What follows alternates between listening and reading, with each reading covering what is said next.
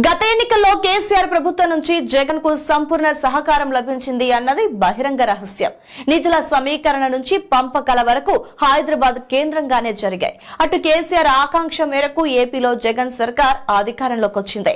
చంద్రబాబు దారుణ ఓటమి చవిచూశారు దీంతో అటు కేసీఆర్ పంతం నెగ్గడంతో పాటు ఏపీలో తనకు అనుకూలమైన ప్రభుత్వం ఏర్పడింది.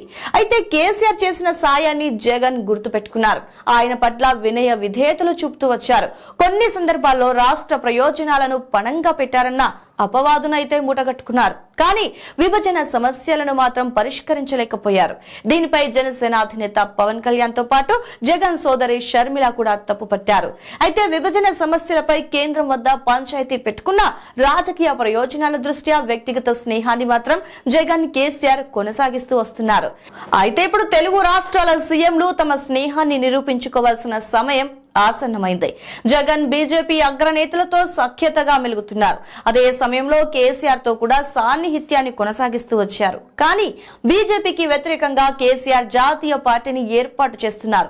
సహజంగానే ఆయన ఏపీపై ఫోకస్ పెంచుతున్నారు. దీంతో ఇది జగన్కు మింగుడు పడడం లేదు.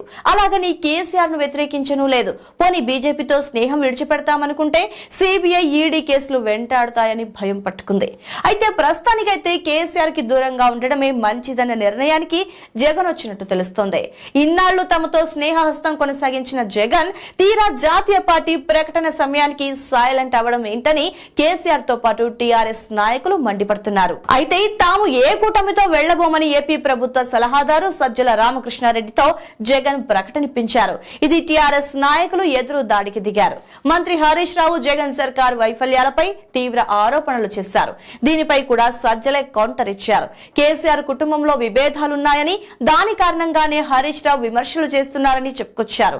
దీనిపై తెలంగాణ మంత్రి గంగుల కమలాకర్ స్పందించారు. వైఎస్ కుటుంబంలో చిచ్చు పెట్టారంటూ సజ్జలను ఓ రేంజ్లో వేసుకున్నారు. అటు తర్వాత వైసీపీ నుంచి స్పందన లేకుండా పోయింది. అయితే దీనిపై వెనక్కి తగ్గమని అధిష్టానం నుంచి నాయకులకి ఆదేశాలు అందినట్టు తెలుస్తుంది. నిజంగా టీఆర్ఎస్తో వైరం పెట్టుకుంటే జరిగే నష్టాలు తెలుసు కాబట్టే వివాదం ముదరకుండా ఫుల్ స్టాప్ పెట్టినట్టుగా సమాచారం. టీఆర్ఎస్ ఏమన్నా సరే రెండు పార్టీల మధ్య సంబంధాలు దెబ్బతినే స్థాయిలో విమర్శలు చేయకూడదన్న కట్టుబాటుకొచ్చినట్టు వచ్చినట్టు తెలుస్తోంది. ఇక టీఆర్ఎస్తో శత్రుత్వం అంటే వైసీపీకి ఏం జరుగుతుందో బాగా తెలుసు. గతంలో శత్రుత్వం పెట్టుకున్న టీడీపీ మూల్యం చెల్లించుకుంది. అదే సమయంలో వైసీపీ ఎంతగా లాభం పొందిందో ఆ పార్టీ నేతలకు తెలుసు. అందుకే తెలంగాణలో అధికారంలో ఉన్న టీఆర్ఎస్తో ఎట్టి పరిస్థితుల్లో వైరం పెట్టుకోకూడదని భావిస్తున్నారు. నాటి ఎన్నికల నుంచి నేడు టీడీపీ నేతలను టార్గెట్ చేసుకోవడం వరకు కేసీఆర్ సర్కార్ అన్ని వేళలా సాయం చేస్తూ వచ్చింది. ఏపీ పోలీసులు తెలంగాణలో యథేచ్ఛగా చేస్తున్నారంటే ఖచ్చితంగా తెలంగాణ పోలీసులు ప్రభుత్వం సహకారం లేనిదే అసాధ్యం.